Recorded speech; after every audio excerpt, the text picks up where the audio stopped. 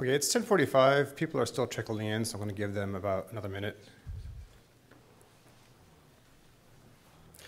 Everybody's here for the presentation on uh, how to migrate your Drupal 7 website to Sitecore, correct?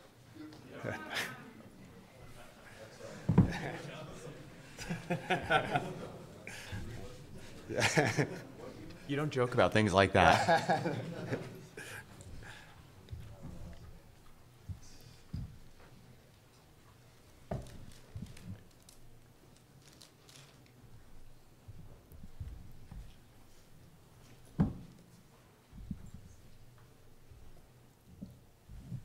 Okay, let's, let's go ahead and get started. Uh, we're not talking about Sitecore today. Uh, we are talking about uh, how to scale uh, authenticated traffic in Drupal. We're using a case study based on WholeFoodsMarket.com, which is uh, where I'm from, uh, and a project that Adam's been working heavily on. And um, how we did that with stateless authentication. So I'm Dr. J. am the tech lead for Whole Foods Market. I work on the web teams mostly. Um, got some contact information up there if you guys have any questions or just want to connect with me afterwards. And this handsome fella here. hey, my name is Adam Weingarten. Uh, I'm a technical architect with Acquia. Um, so I work in our professional services group. Um, so helping to, you know, um, come together with requirements, look at, um, you know, crazy client asks, um, and then try to, you know, pull a bunny out of my hat and, you know, make sure that uh, we pull it off and, uh, you know, keep our, all the things uh, working, running, and keeping our clients smiling. Uh, so uh, it's always uh, an interesting challenge. And uh, we, we are that crazy client. Um, so we, oh, brought to you by Acquia, which hearts Whole Foods.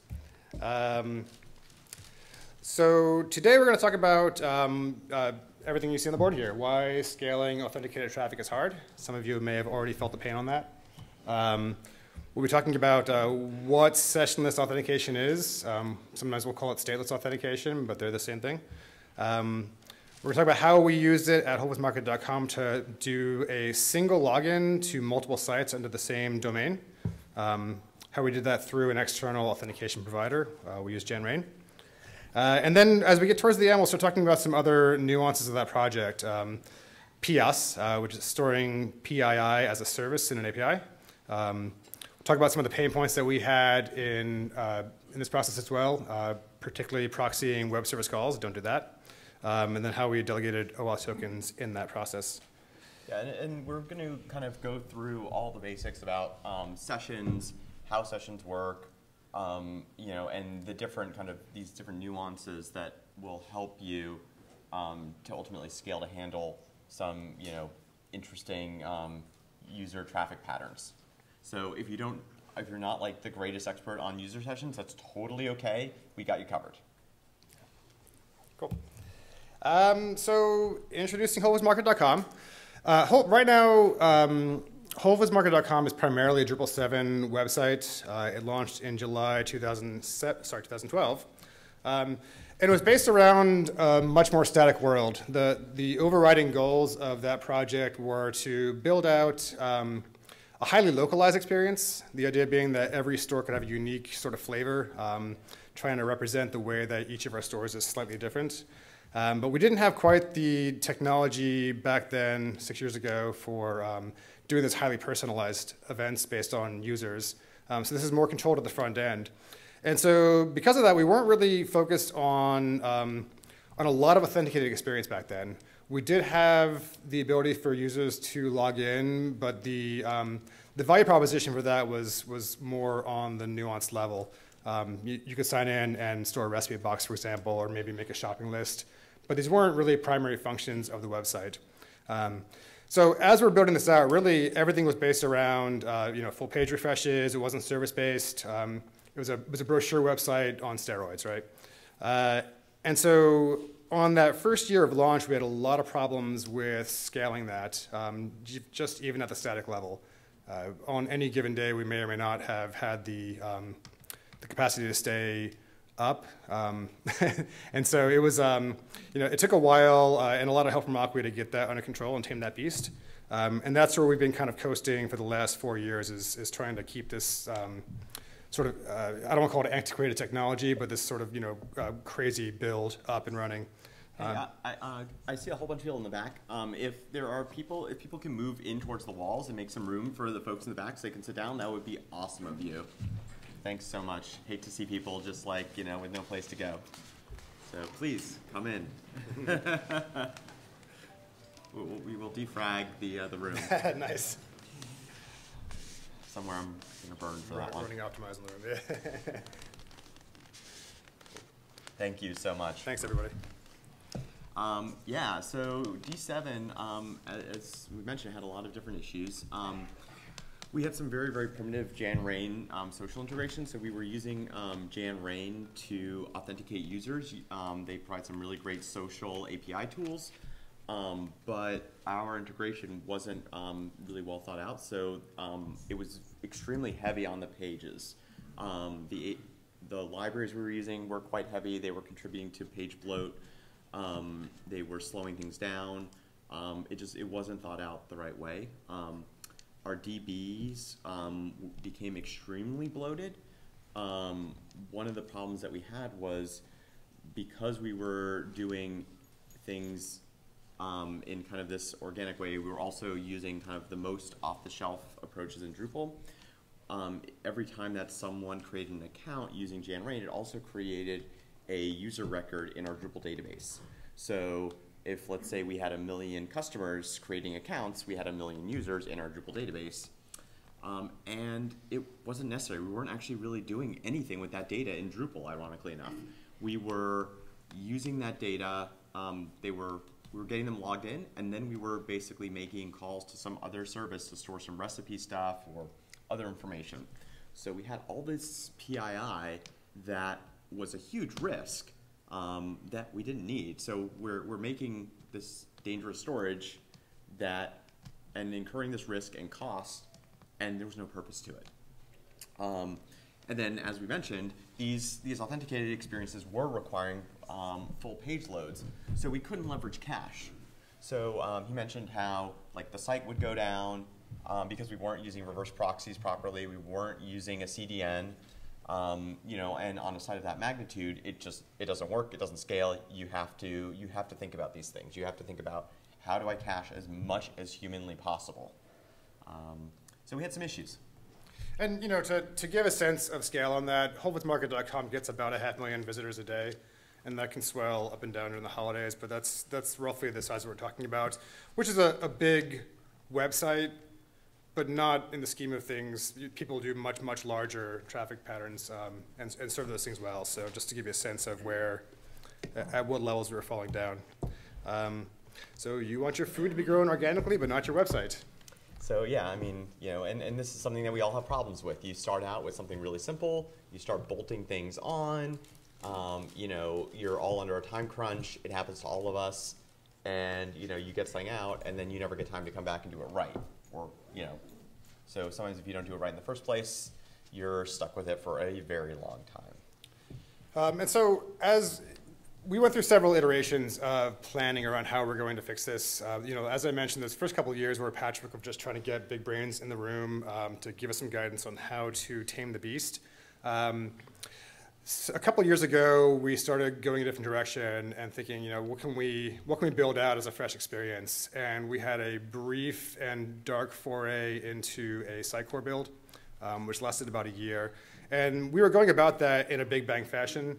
And one of the lessons we learned from that process was that um, we had our own institutional issues on planning uh, and how to figure out how we're going to do uh, large scale, uh, full spectrum web deployments. And so when we backed out of that process and decided, hey, we still have this Drupal 7 site we'd like to fix up, uh, we doubled down on saying, okay, well, let's get to Drupal 8, but instead of going at it with a big bang, new build, fresh start fashion, let's see how we can nuance that and have a parallel track of development. Um, so we're upgrading certain things. Um, so from the DA perspective, we knew what our high-level goals were. We still had a basic North Star idea of where we were heading. And I'm not going to go into all those details, but the big takeaway for this talk is that the, um, there was a, a much, much greater emphasis on authenticated experience. We really wanted to target, um, to give targeted, personal individualized offers to customers um, on a one-by-one basis. And we had uh, backend systems that could serve this out, but the web stack that we had would never be able to handle that kind of traffic. So um, from that standpoint, we're, uh, we were looking at supporting 10% authenticated traffic, which is probably about 40x where we were uh, prior to that. Um, so that was, our, that was our target metric for that. Um, so it's a significant burst there. Uh, because we're splitting the stack up into Drupal 7 and Drupal 8, we needed to have some ability for people to authenticate in one place um, and not give them the jarring experience of having to bounce back and forth and have two separate logins. Um, personalized digital experience uh, extended beyond just the coupons. We also wanted to make sure that they're getting some um, unique value beyond the offers uh, in that experience. And then uh, mobile responsive was a big facet as well because our, our current experience was, was very static. And also, um, you know, we had a, um, we had, I think we were running three or four different themes on the site. We had an old-fashioned M-dot site. We had a, um, a desktop theme. Um, it was really, really difficult to test, and um, you know, regressions came up, um, and it was difficult to scale those things and also make sure that we were then caching both the M-dot and the desktop properly, and we had to then double the things that we were caching, which also was unpleasant. um, so uh, back to the basics. Um, so we're going to shift now into talking about uh, just scaling traffic in general um, and, and, what the pain points are around authentication. Um, so scaling anonymous traffic is easy. I think uh, most people in the room are probably familiar with that. Um, we can use CD, we can leverage CDNs to do the heavy lifting, get people closer to the edge, try to cut down on latency. Um, we've got Varnish to lean on. Um, you know, so caching is the quick quick show of hands. How many people here have worked with um, Akamai? Okay. How many people have worked with Cloudflare? Okay. And how many people have worked with Fastly? Okay. So, so we have um, a lot of people um, who are raised their hands for one of those. Um, so there's a lot of experience in this room with um, with CDNs. This isn't you know cutting edge. This isn't you know insane to people. You're doing it. Um, you know basically you know. And for those who didn't raise your hands, um, you know what the way it works is you know you a request is made. it the CDN provides a caching layer, It says, do I have this, and is it recently valid? If it is, it serves the request. The request never makes it back to the servers, um, and your webs are happy. Um, so that can be with um, the CDN. Oftentimes, people also throw Varnish into the mix as an intermediate layer. Um, you know, but they hit the origin. They then store the information inside their caches for the next person. So the next time someone comes along, it's warmed up for them. And in the modern web, you know, a lot of these things end up being served out as basically a static page. And if we want to do personalization, that's something we can handle client side or, or otherwise. So, so these things can get very performant um, at that level. When we get to sessions, though, um, that's a different beast. And yeah, so so you know, HTTP is, is a sessionless protocol. So sometimes it take, it's important to take a step back and just say, what the heck is a session? How does this work? So by default, you send a request to HTTP. It doesn't have any idea about who you are, what you are. Um, it just says, okay, it's a request. I'm going to service it. Um, so we have to overlay this concept of a session. Um, and there are some interesting implications of that. So what is a session? Um, so it is like this, those sequence of interactions between a specific person and the server. Um, so you know, you add something to a cart. Well, you, we want to make sure that you know it's added to your cart and not to you, you know someone else's card. Or if you enter your credit card information, it's you know it's yours and it's not mixed up with someone else's. Um, and when we start to deal with caching, where we are you know storing things for everyone, we need to make sure that we don't mix it up. Um, so those two can kind of hit each other a little bit. So what does a PHP session look like? Um, you know, we have this um, session super global. Um, often um, it starts with a session start early in your PHP script. Um, Drupal wraps this up and it, it, stores all that data across those requests in the DB. Um, so a lot of that is, is handled at a pretty low level of the bootstrap. Um, and it then uses a cookie value to ID you. So there's some sort of a GUID. It's stored in a random cookie. Um, so what does it look like? So, you know, typically what you'll see is with, a, with Drupal, you'll see these cookies that start with a, um, an SCSS, um, and then they have a value. What is the value? Eh, it doesn't really matter. It's just a, a random identifier for you. Um, and you can see these, you know, really, really easily in your browser. Um, so it's something to, you know, that can be useful to poke at. But we kind of mentioned sessions can be problematic. So why are they a problem? So, oops, uh, oh, hot corner. hot corner. Isn't she cute? Um, so this is a, um, a curl of an HTTP request. Um, typically what happens is we want to make sure, again, that we don't mix, you know, the um, different user sessions. So when, when most CDNs or varnish um, caching layers do encounter a session cookie as part of your HTTP request, they will um, respond with a no cache response. So they will make sure um, that um, everything is bypassed, that um, you know what you get is unique to you, and it takes a bit of an aggressive stance to make sure that things aren't being mixed. Um, and this is really, really good from a security perspective. It, it's simple, it's easy, we have a clear-cut set of rules that keeps everyone somewhat unique. But the sad part is that on this X cache line, we see lots of misses. We don't want to see misses, we want to see hits. So yeah, we're under a lot of pressure here. So we've got um, two, some conflicting requirements here that are really, really tricky to address. So we've got these new experiences that want high degrees of personalization, but our infrastructure sucks at it. So, you know, it, it, it makes things tricky.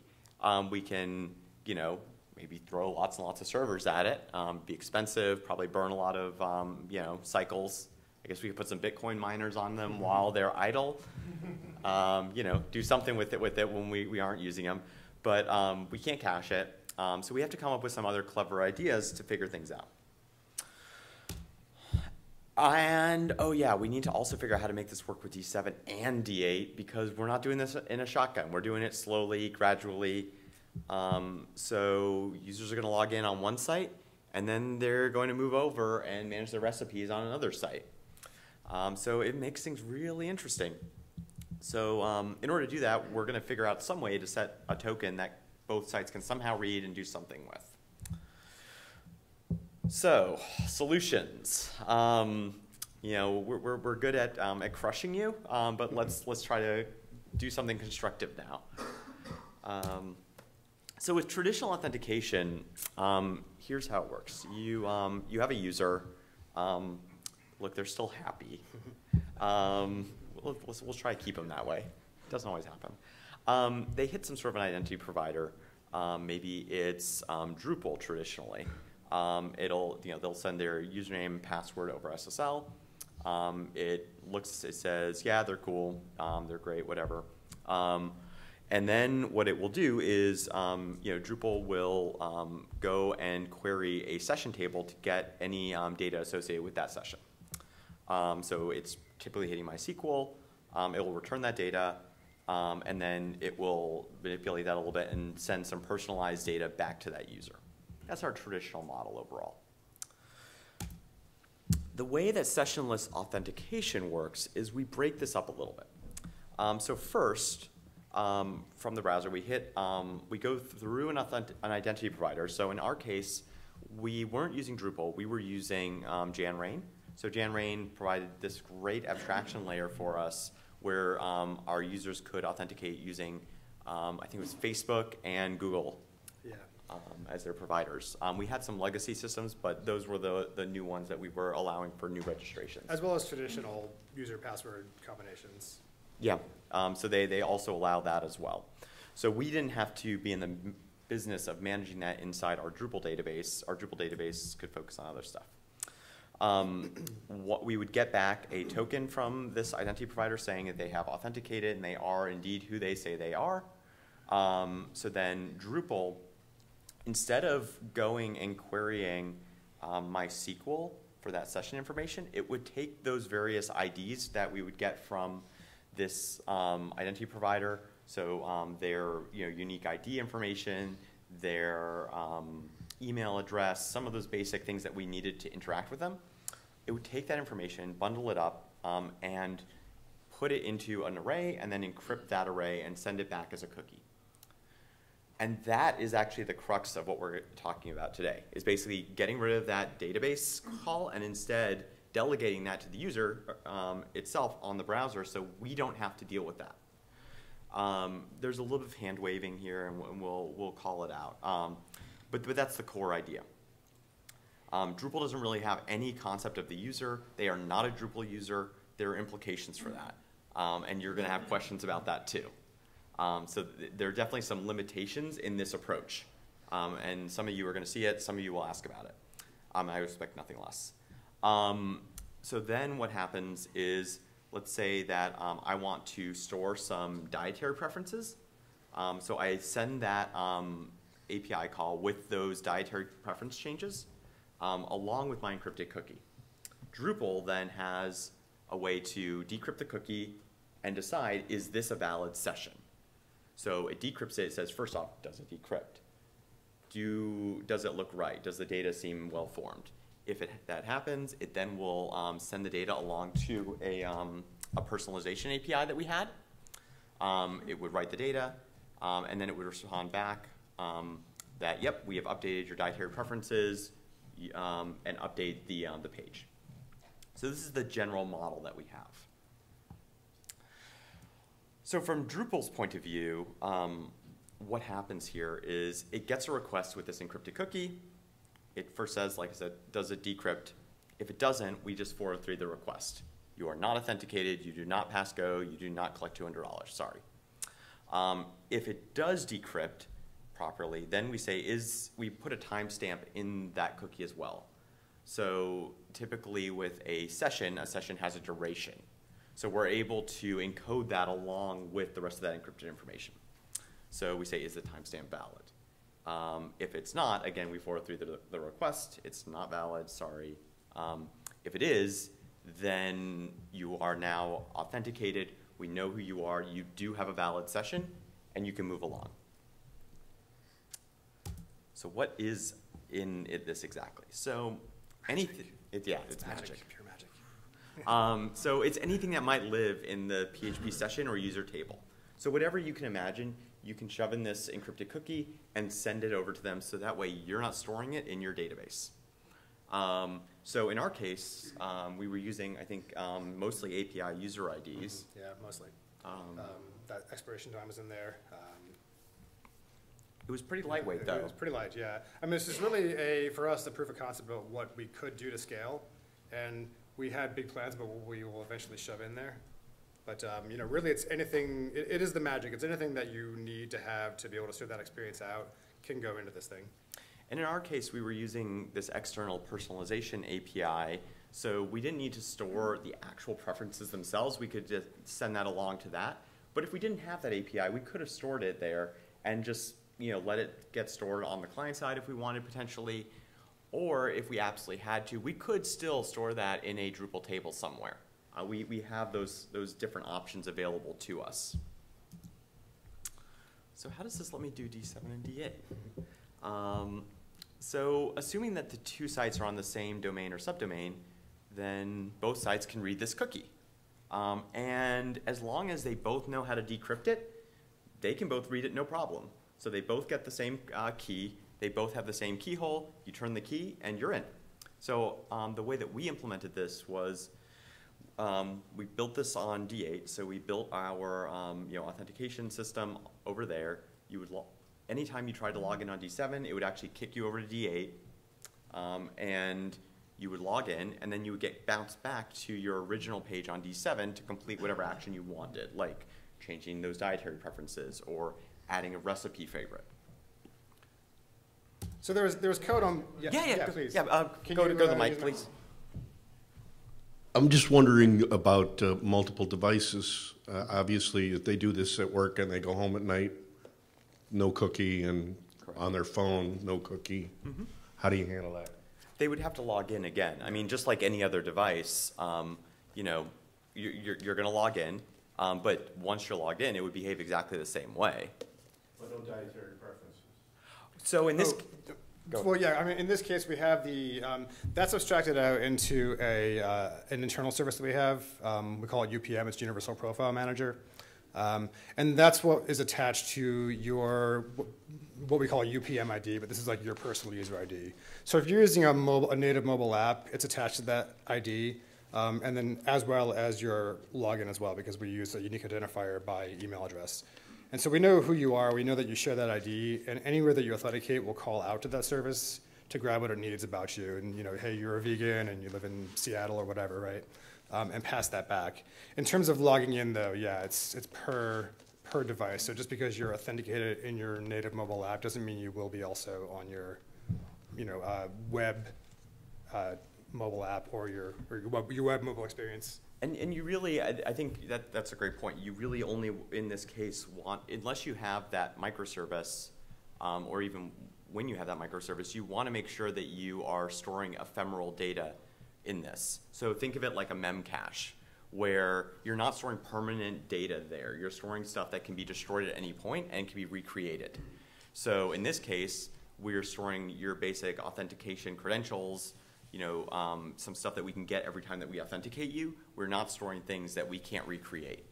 Um, if we did, then to your point, th we would, those would be lost when we destroy the cookies, and that seems like a shame.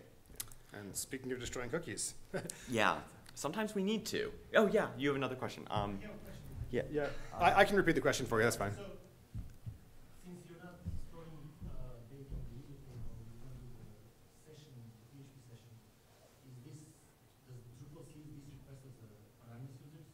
And then- Okay, so the question was, since we're not storing uh, data in the user table, um, as these users come in, does Drupal see them as anonymous users?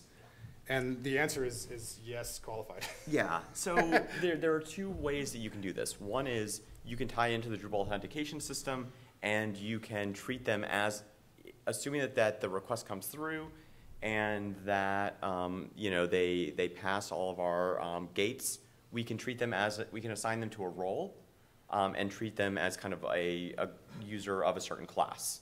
Um, they're not an individual user from Drupal's point of view, but we can do that. We can also just simply treat them as an anonymous user, depending on how we're working. Yeah. Does it go into auth map table the Does it go into the auth map table? Yeah. We So- can, we, we could potentially do that. In general, we're avoiding that because then we start to get into different um, database API calls. In our case, we had a very, very narrow use case. So by doing this approach, we, we actually don't make any database calls. That's the value proposition for us. It lets us scale very much. If you start, um, you know, making all those database calls, then you negate the benefit of this approach. Other than the the fact that you could potentially share the cookie between Drupal 7 and Drupal 8.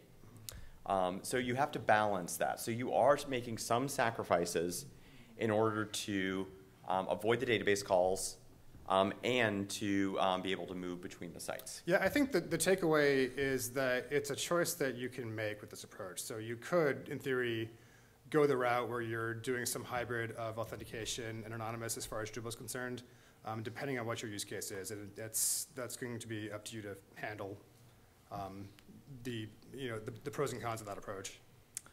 And I mean, and to that point, I mean, you know, and that's kind of where this slide is going. I mean, you know, when we did have a, a, a session in Drupal, we could log them out. So like, let's say that we, um, there's a Drupal, um, there's a vulnerability that attacks the, the password table. Um, I feel like there was something a few years back where we actually actively logged out, we had to log out all users. Doing that's really, really easy. Um, you go, you truncate the, the session table, boom, everyone's kicked out, go log in again. I think it had to do actually with a, um, there was a vulnerability in um, SSL. Um, There was a Heartbleed, Heartbleed yes, that right. was it, thank yeah, yeah. you. Yeah, so in the case of Heartbleed, um, you know, we just, we couldn't trust that the, um, these SSL sessions were, were valid. We didn't know if user accounts had been compromised, so we needed to log everyone out in a hurry. Yeah. Um, and now that we have this kind of decentralized approach, what the heck are we gonna do? So, um, so yeah, so, you know, we, we can get rid of these zombie sessions. Um, do you want? Sure, yeah. So, um, uh, you know, you, you can look at the table here, but the, the gist is that, um, you know, at the top you look at our normal flow. Joe signs in. Um, we set a cookie. We talked about storing timestamps in those cookies so that we can set our own parameters around when they expire. Uh, looks like 30 days in this case. Um, and then you're off to the races, uh, as Happy Walrus says. Um, so in this, in the scenario that Adam's describing is like, you know, what do you do when you need to say, get off my lawn, right? Um, so we've got this cookie set for September. It's expiring in October. Um, and then we flush them out, and then Saul logs back in, and he's good to go for another 30 days, right? So mechanically, um, how that's going to work, well, it's not really on the table, is it? Uh, we're, looks like we're missing a slide here, but the, uh, you know, mechanically how that's going to work is like we've got code on the back end that, um, uh, I'm going to let you actually handle that one. Yeah, That's 'cause- 'cause we're getting a little, a little heavy there, but the, um, basically it's going to kill all the cookies off. Um, So, so what we do is we actually store a timestamp um, on the server that says, okay, if anyone um, has logged in, um, you know, before this time, um, or if, if their expiration is before this time plus 30 days, um, if it was before that, kick them out. If it's after that, they're now valid. Um, so we're able to kind of have this global identifier to say it's okay, um, and, and that goes into that authentication um, flow diagram that we showed you before. Now, the messy part though is we need to make sure that we we hit that button or make that timestamp on all the servers that are doing this. So if we're doing it on Drupal 8, we also need to make sure we do it on Drupal 7.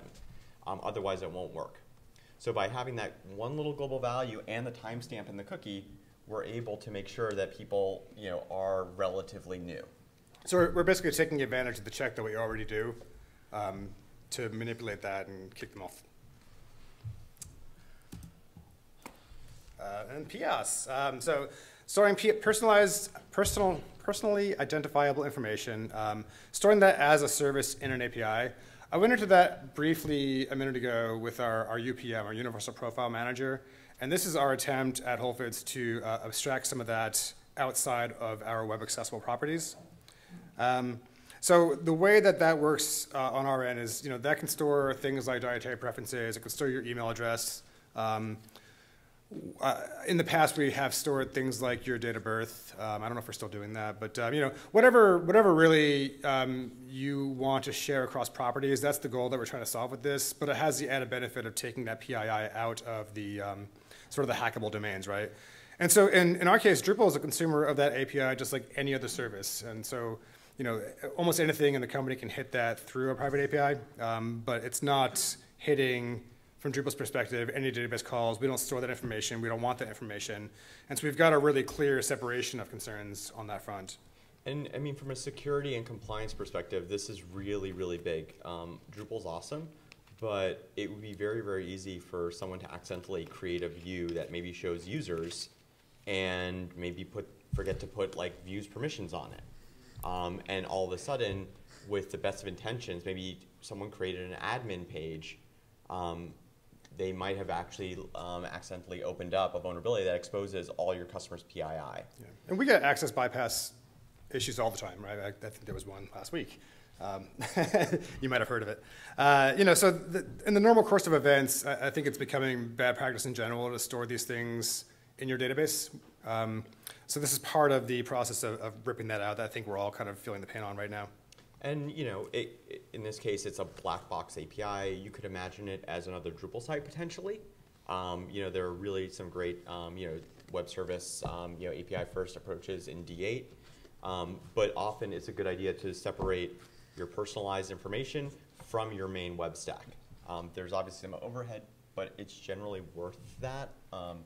And the other thing is that, you know, it also allows you through that separation of concerns to load test things much more effectively. Yeah. Um, you know, we mentioned personalization is really, really hard. Um, well, if we can make all of that simply, you know, a single monolithic API that we can hit, we can, you know, slam it really, really hard. We know what the tolerances are, um, you know, and then we can attack those problems, which are a little bit different than the problems of building a brochure site. So. So we'll talk for about another 10 minutes um, just on some of the problems that we faced, or really the biggest problems that we faced in that. Um, and then that should leave us 15 minutes for questions after. Um, so uh, the, the biggest one is, is proxying those web service calls. Um, I think that's the road that we went down at first, and it turned out to be uh, um, a mistake in some ways. And I'm going to let Adam go into the details on that. But um, from a performance and stability perspective, I think it was a, a, big lesson learned? Yeah, so we were working with this API. Um, you know, it was black box to us. There were limits in what we could get from it, um, and you know, we, had to work around those. So in our case, we had to um, get users authenticated. They would then take it an action, and then what they would do is, you know, Drupal would then make the call to the to the service, and then get a response back, and then respond to the user. Um, so a lot of bouncing. Why is this bad? Well, all those hops are adding a lot of latency, so it's slowing down our user experience. Um, you know, we have intermediaries. Um, that's not ideal. Um, your web servers kind of suck. Um, and it, I don't care who you are or what your web servers are, just web servers are finite resources. And every single time you want to make one of these hops through your web server, you have a finite amount of memory, which means you have a finite number of concurrent PHP processes that you can run on your web servers. So every time that you make one of these um, hops, you're, you're basically taking one of those procs out of rotation and you're making it wait um, until this other call finishes. And HTTP calls take a lot of time. So this limits how many transactions per second you can do on your servers, which means now you have to throw more hardware at the problem in order to handle it. And since we're specifically having a project goal of scaling up traffic and scaling up authenticated traffic, um, this was a big issue for us. So what do we do to fix it? So in the model that we just discussed, um, you know, let's say Wally, um, he's asking for some dietary preferences, goes to Drupal, Drupal goes to the API, API goes to some storage somewhere to get the PII, it goes, um, you know, ideally what we want is, you know, once it gets authenticated, it'll go back to Drupal, Drupal goes back to Wally. Not ideal, hops, hops are bad. What we want is, ideally, we want the browser to be able to hit this API directly and bypass Drupal altogether. Drupal has no benefit in this model right now. So in order to do that, though, we need something like OAuth, where we can delegate um, and create a token that the user can use to um, access this API directly. So what we would do is we would have Wally go talk to Drupal, Drupal would talk to OAuth, get a token back for this API that they can use that um, limits their access, that um, has access controls in place. It would then um, go back to Drupal. Wally has this token now, and with this token, Wally can then make requests directly to the API. They are safe, they are secure, they're firewalled to the things that only he has access to ideally. This would be great. Unfortunately, we didn't have this. Um, we begged for it, we wanted it, uh, but we couldn't get it. So that's why we were stuck, um, unfortunately, um, with the, the first approach, where we did have to proxy through Drupal, um, and we did scale up our hardware a bit to compensate for that. Um, you know, it's something that we are still working on, that we do want, um, but you know, there are trade-offs, um, and ultimately, you have to deal with the reality of you know resources and other teams. I love giving a talk at a Drupal conference about a Drupal site, and the entire gist of it is bypass Drupal. So um, yeah, so uh, ideally, if the browser can access that API layer directly without the inter intermediary, then we're winning. Now, some of you guys may ask about like how does all of this scale? We've talked about performance, we've talked about scalability. Um, so we ran some performance tests. Um, and one of the things that was really, really interesting was as we started to slam all of these authenticated experiences over at Drupal, we saw our CPUs um, spike. Um, and that makes sense based on kind of the story that we just told. Um, you know, the, um, the procs and the CPU are waiting on web service calls, um, and, and that's kind of the, the behavior that we would expect. The other thing though that was interesting was our memory was quite low, um, as well as some other um, benchmarks. So, I mean, our CPU is, it, we're busy waiting for these things, but we're not really, we're not spiking our CPU, our memory. Um, so this starts to suggest different trends on how we can scale um, if we're CPU bound. Being CPU bound is a good thing actually in this case. Um, you know, and the other thing that was interesting is if you look um, at our database, um, our database is cold. We're not doing anything. We have almost no database access for any of this. Um, and the database is the part that's really painful to scale. Um, that's the part that we don't want to get into because we have to basically just throw one big piece of hardware to handle the whole thing. Um, it's horrible to do. We don't like doing it. So um, the fact that we have these lines that are pretty much steady says it tells a story, um, which is that we can scale linearly with this approach by webs um, and not have to worry about scaling our database. Webs are cheap and easy to scale. We can throw webs into rotation behind a load balancer. That's simple. It, you know, we don't really have to worry too much. We don't have to have any downtime. Um, we can put them in. We can take them out. It's great for scalability. Um, and the fact that we don't have to worry about our databases or Memcache or other things um, is also a huge, huge win for us in terms of scalability. So at the end of the day, we ended up with something that actually scaled pretty well. It wasn't perfect. Um, we worked around those limitations that we did have. Um, we got that separation of concerns, and now each part of our stack can focus on its single concern, its single responsibility, and it can do it well. So we have the API, which we've load tested independently. We know how much traffic we can throw at it, how many transactions per second we can throw at it. We know what our web layer is doing. Um, and you know, we've, we've controlled what everyone is doing. We've done security audits on each layer. Um, so you know, we're not trying to redo every single test, every analysis at every single point. Um, you know, and ultimately, um, it worked pretty well. We, um, since we introduced it, um, we haven't really had to scale up the hardware at all. It's been really quiet, um, and it's been servicing a lot of traffic. Um, and it's been much more robust and had a much better launch than our original Drupal 7 code base Far had. better, yeah. I, I wasn't around for that one, Yeah. but um, I was. It was painful. um, th- this one's been relatively quiet and boring. Yeah. Um, so uh, th- you know, that's what we're going for. Um, so I think that's all that we have. Yeah, that's it. Um, so we've, we've left about um, a little more than 15 minutes for questions. Um, and yeah, we could. Yeah, yeah, come on up to the if you can, please step to the mic. Um, if you can't, I'll try to repeat it for you. I'm looking at this from a cost-benefit analysis of the amount of effort that you put into this, uh, given the fact that it's supporting a site that's on 24/7 with that many users. Um, would you? I don't know. The, the question is, how long did it take for you to go through this exercise and come up with this this solution? I've got a similar situation where we've got you know thousands of authenticated users coming on. Um, at, at one time, and this approach would really, really be beneficial. But it happens twice a year for only one hour per time. So I'm not sure if I want to spend, you know, a whole year of, of, a, of a development effort for two hours out of the year. I'm, I'm going to take the first part of that, if you don't mind, Yeah. and then Thank you. um, yeah, and uh, if you want to Yeah, jump yeah. in a bit too. But the um, you know, from our perspective, and I, I, let's rewind that. I think from what I'm hearing from your perspective is that there's two hours out of a year that are affected by this, but those are two very critical hours. Um, so from our perspective, uh, our expectations around uh, our marketing campaigns that we're targeting certain dates and how we're advertising this uh, were expected to bring in so much traffic all at once that it would have been disastrous if we were to have downtime at those moments. And so, you know, there's there's a lot of effort you can put into front loading that in terms of stress testing and load testing and everything else and trying to figure out where where your pain points are. But it's a different ballgame really always when you get out of the synthetic game. So for us, there was a huge there's a lot of dollars riding on getting it right.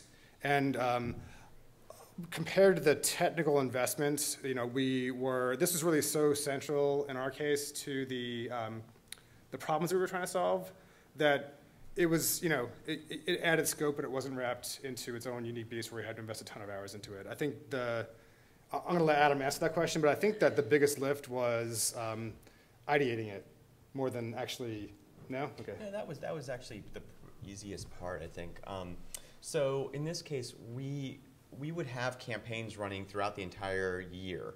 Um, so I think at that point, that was one business driver that justified the cost of some of that development. Um, if you're doing it once a year, it probably would make more sense to scale up your hardware, is my gut. Um, in our case, we also had a bunch of additional things that, um, that we had to spend money on no matter what. We had to, um, you know, do Janrain integration. We had to be able to log into multiple um, Drupal instances. So once we we had those requirements, the sessionless authentication piece was actually fairly minor. Um, it really was was not a, a heavy lift. And even thinking through it, um, we hadn't spent we didn't spend that much time on it. Um, but yeah, in your case, I would probably I would throw hardware at the problem. I think it's probably cheaper for you. Sometimes that's the answer. yeah. Um, I, I saw that in the brown shirt first, I think. Yeah, I'm still trying to kind of wrap my head around uh, the PII API. Mhm. Is that something you guys developed in-house, or is that, you described it more like as a black box essentially that you're reaching out to?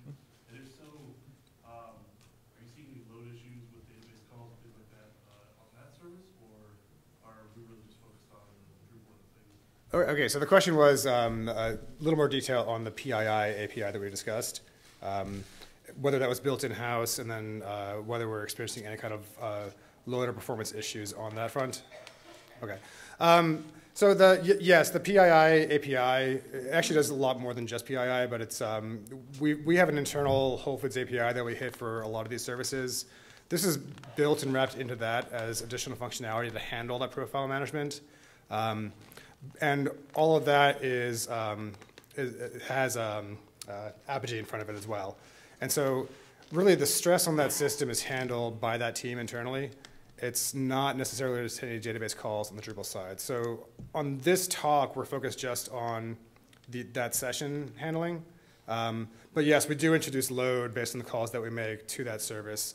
I don't recall that we had particular load issues on that. I think we had programmatic and logic issues, but Yeah, so basically, I mean, from our point of view, it's it's a pure black box. We don't know what it is. We don't really care what it is. Um, what we did do was we worked with that team to make sure that it could handle a certain number of transactions per second, um, and we, we tried to think through what are some of the worst calls that could potentially happen, aim for those, and then we had that kind of contract with that team to make sure that it worked. Now, you know, what could that look like? Um, it could be a Drupal black box. Um, Drupal does some great stuff there. It could be something powered by a MongoDB, by a DynamoDB. Um, it depends. Um, but it's black box. And as long as you have that kind of contractual agreement with them that they will be able to handle a certain amount of throughput, um, and you have those API um, you know, contracts as well, then you'll be fine. Um, yeah, in front. Yeah. It's an excellent question. So the question is, how do we handle our admin users uh, in this system? And the answer is we don't. We, uh, we have we, we abstracted them out into a separate area of the site um, where we replace their existing login page with a different path. Um, and so there's we they go to the same domain, but they actually have a standard Drupal login. In our case, um, we're talking about you know maybe 500 people total. Uh, so the amount of load that our admins put on the system is, is quite low. Um, but but it's a good call out. Yeah. Yeah, in the front. Um, so I'm just trying to wrap my head around kind of where the uh, Drupal, the actual Drupal piece of this is that's specific to Drupal. Um, so it sounds like all of the personalization stuff is ideally happening, being kind of rendered on the client side on top of a kind of static brochureware P Correct. site. Yep. And you're having, sending the authentication tokens through to your API pass through. So that's all independent of Drupal really. Mm-hmm. Um, so are you actually doing anything in Drupal Yes. at all? Or is it all kind of just stuff on, client-side stuff on top of Drupal? I mean, in, in, in broad strokes, there, there's a, a custom Drupal 8 module that handles the authentication piece. And so that's what would take in, provide the form, encrypt it, and, and pass it out to where it needs to go. On the Drupal 7 side, there's also code that needs to be able to read that cookie, decrypt it, and, and parse it out to where it needs to go as well. Overall, Drupal really is functioning in this case as a gatekeeper. Um, so it's it's it's working with those authentication providers to make sure that you're actually logged in. Once it does that, it really just is uh, the moderator to make sure that you're getting routed to the right place. Um, you know, ideally, once you've gone through authentication, we would love to be able to bypass Drupal um, and go directly to those APIs. Okay, so if you had another OAuth provider, for instance, then Drupal wouldn't even really be in the mix. It would all be client-side.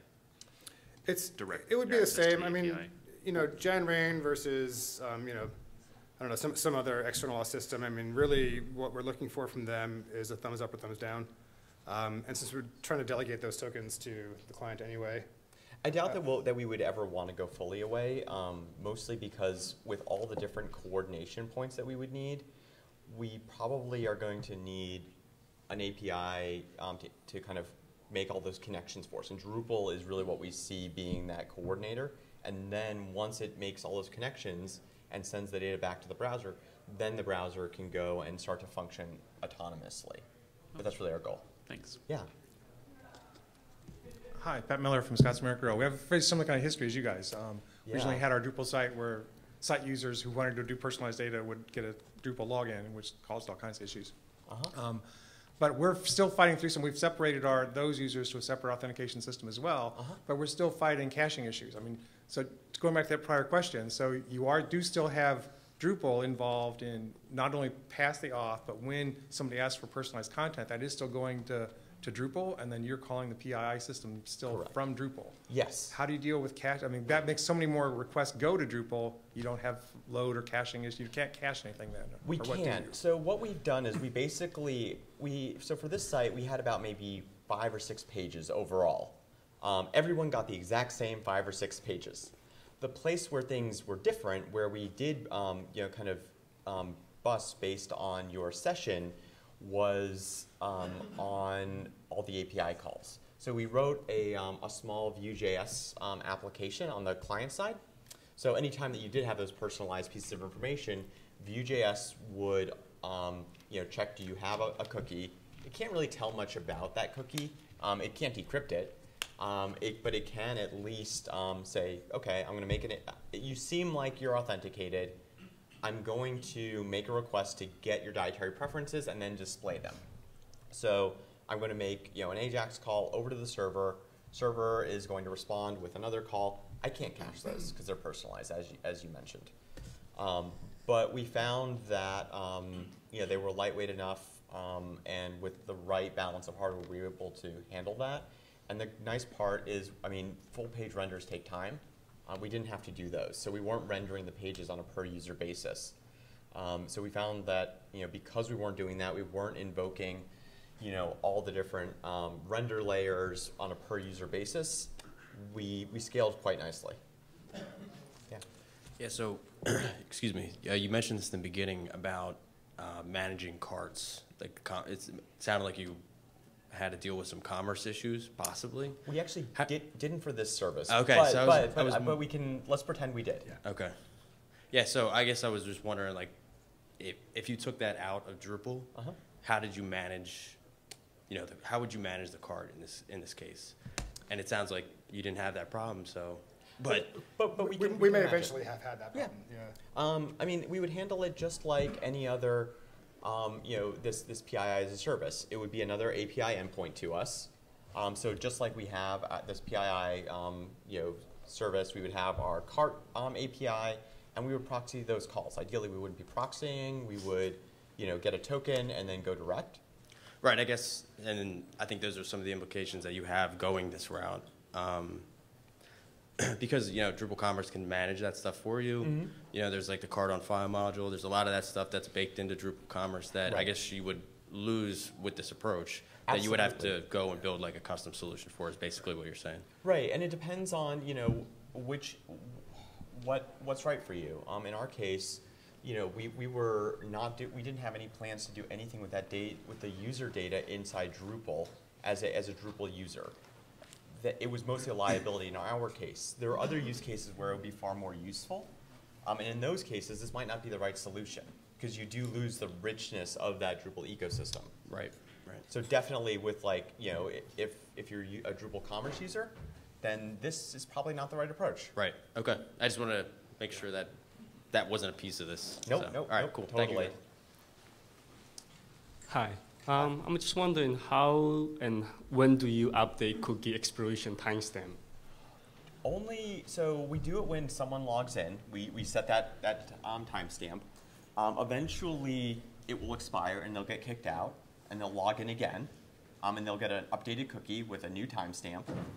Um, otherwise, um, you know, the only other time that it becomes an issue is when we have like a heartbleed scenario, like we mentioned, where we need to kick everyone out. We set the global value, and then the authentication system says, okay, you're not valid. I'm going to 403 you, and then in that case, they re-authenticate. Ah, okay. So if I'm logged in today and my uh, cookie expire a month from today, um, if I am on the site like a second before the expiration, it will just automatically log me out then. Correct. Okay. Yep. Thank you. Had it been just a D8 only site, would you have considered using the Big Pipe module for personalized information on the site? We had, it definitely was something I had considered. Um, I don't think we would have. I think be, mostly because we still wanted to avoid those full page refreshes. Um, we still, that, there still would have been implications with all the different caching layers. Um, and it, the, we, we still would have been doing full page refreshes, ultimately. I mean, it's, it would make them better, but, you know, ultimately, it's, you know, Vue.js allowed us to create a much, much more, you know, um, I, I hate to say responsive, but, you know, reactive, um, you know, user experience. Um, so they would click something and then something else would happen. Um, so it was much more dynamic for the end user, which I don't think you're going to get just from BigPipe. Yeah. So, um, how applicable would a solution like this be to an ecosystem of websites which all share SSO, and some of which are very locked down by role, so you can't go to a lot of paths like 100,000 nodes that you only certain people can see? Um, is, does you think this actually would provide a lot of advantage? Because it seems like we still have the same problem. Like Drupal still has to wake up. Like you know, just get to varnish. You know, just peel a layer off varnish and. It depends on what, what exactly they're trying to do with the site. Um, because, I mean, you're still going to, you know, are, are, these are people who all have different roles, I'm assuming? Yeah, there are maybe like five roles Okay. across a bunch, Are- are many, many people. Is it the same roles across the sites? Across- Uh, yes, they would, they're unified now. So what you could potentially do then is you could, you know, have them log in on a primary site um, and then encode the roles, um, you know, roles and any other um, attributes into the cookie. Mhm. Um, and then they could take that with them. You could tie into some of the authentication systems inside Drupal to then, um, you know, create kind of an ad hoc user for them that, you know, has that role, give them those permissions. Um, and that could work. The only issue that you might have is in some cases when you edit content, you may need an actual like database user. Um, Yeah. So what you could, what it could do is it could on the fly just create a user for them to then um, map that data to, like when they authenticate. I guess I'm just not seeing where the savings would come in. For that case, there might not be. Um, At least not in the scenarios that, that would lean on that user, right? Yeah, I mean, when I think where this starts to not work is when you actually need to have a proper user, like a Drupal user itself. Right. Um, So- and that's where where this loses its value, I think. Right. So one, on one of our sites, it's just like publicly accessible, and getting hello user makes the render ten times longer, right? Yeah. So th- tho- that's a case where we could clearly change it, but if there are more complicated sites where you have access to forums and things like that, I I, don't. I think once you, once you go down the route of creating a row in that user table, I Or- think. organic you- groups, You're, you're back to where you are, right? So I mean, Right. You haven't gained anything. So I think in your case, the question I would be asking is more of, um, is it, is it acceptable to have a disruption in that user flow to where when they need to get that taken care of, they're asked for additional Yeah. You know, and then from your standpoint, is that worth, is that worth the effort to, to roll it out? But yeah, it, it, it probably isn't. Um, you know, if, if you need the user table, this might not be the right approach. If you don't need the user table, then this is awesome. In our case, we had we had gigs and gigs of users that were just weighing us down like an anchor. Our database right now is like 25 megs. We can drag it between environments. Um, it's awesome. Like It was like six. I mean, like, it's, it's like, Whole Foods is a case study at Acquia about large client databases. It's, um, yeah, and it, it's helped our developer velocity. It's helped, um, you know, we can just pull the database down. We don't really have to worry about sanitizing too much now because of that. Um, so we're in a much better place than we were. We probably have time for one more quick one, um, and then Adam and I'll say afterwards for another 10 minutes if you have any one-on-one questions. Anyone going once, going twice? Cool. Thank. Oh, oh, What did you guys use for the uh, token encryption? Um, Secret sauce. Not telling you. Custom. Something good. Thanks, everyone.